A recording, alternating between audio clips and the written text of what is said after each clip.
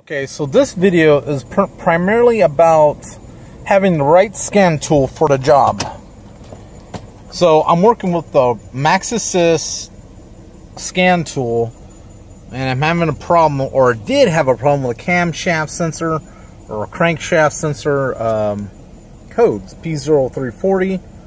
Right now my cam crank difference at idle is near zero or at one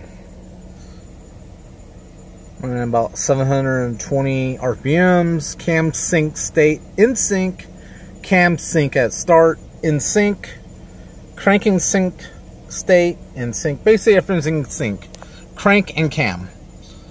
So I'm gonna do it, ignition off, keys out, ignition on, so we're out of sync. So we're gonna crank it.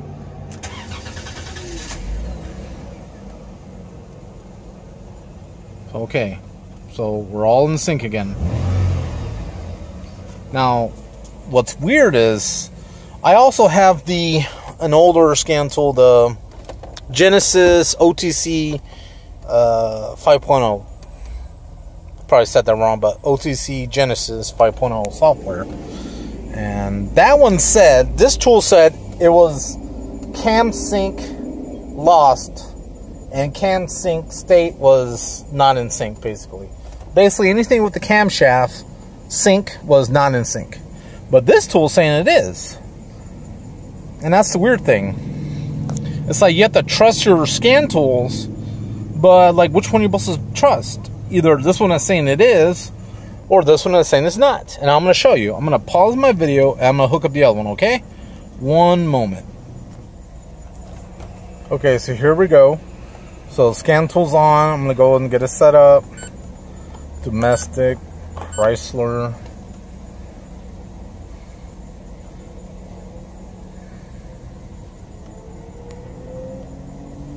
Alright, come on. One thing I have to say about the scan tool, it is very slow. Obviously it's old. So we're gonna reuse, you know, the Intrepid. Okay, here we go. Alright, so the car is still running. Let's see if we'll pick it up.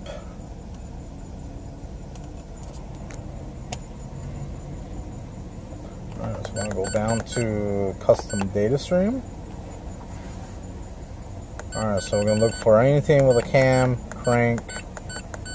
And I like to select the ones I want to see only. That's one thing I like about this old scan tools. You can do that. But then again, you do have a lot of scan tools.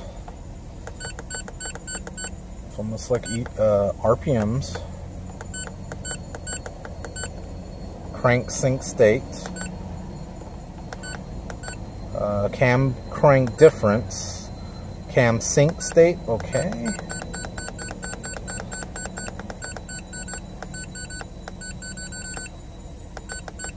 Okay, crank sync at start, cam sync at start.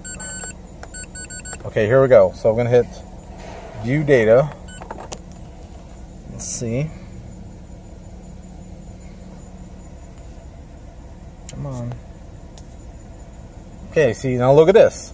Cam sync and start not sync. Crank sync at start in sync. Cam sync state out of sync. And your crank sync in sync.